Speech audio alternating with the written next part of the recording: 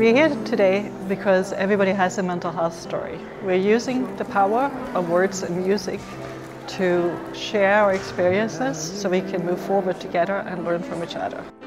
And that's why we're here tonight to talk about uh, mental health, how to, to cope with it, and also to embrace it and not um, whisper about it. If we identify these illnesses as early as possible, most can be treated or managed, and this will lead to better mental health. I'm really happy to be here tonight. I'm really delighted because I think this event is just something really important uh, because uh, mental health is something that's not normally talked about. Um, there's a lot of stigma attached to it, and I think it's great that this event uh, is bringing public awareness and uh, public discussion about mental health issues.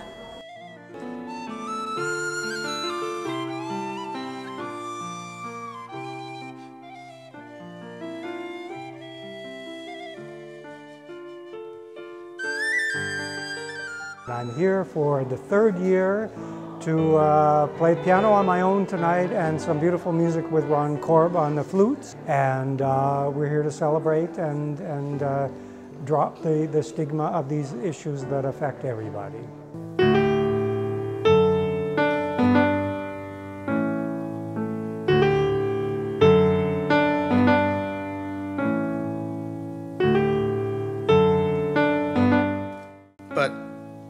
Tchaikovsky, in his case, he suffered in his personal life largely by because of guilt and oppression and prejudice.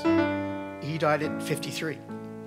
And imagine how much more beautiful music we might have if society were more understanding and tolerant. I'm Daniel da Silva. I'm a dancer with Canada's Ballet Jorgen. I'm uh, here to perform uh, the White Swan Pas de Deux with my partner Sonia. Uh, lots of dancers have mental health issues. Uh, the composer of the piece that we're doing tonight also had mental health issues, and we're here to show, I guess, the, the beautiful part of, of it, you know, in spite of, of of the mental health issues that uh, people still can come around and, and, and make beautiful music and beautiful dancing.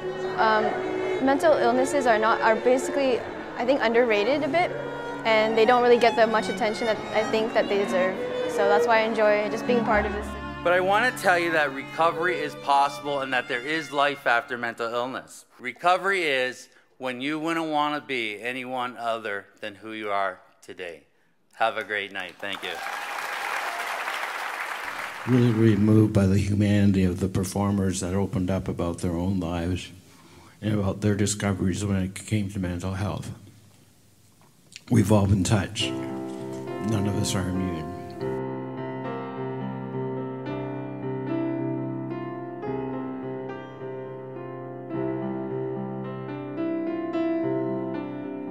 You ask me if I love you, and I choke on my reply. I'd rather hurt you honestly than mislead you with a lie. And who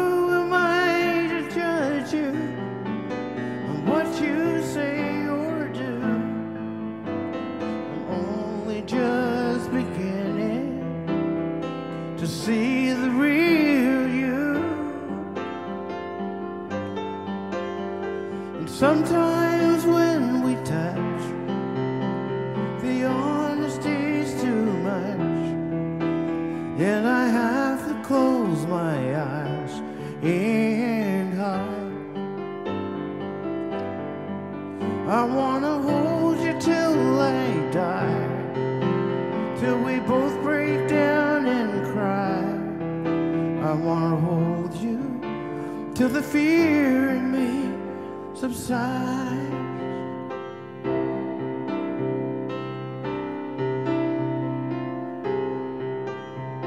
Romance and all the strategy leaves me battling.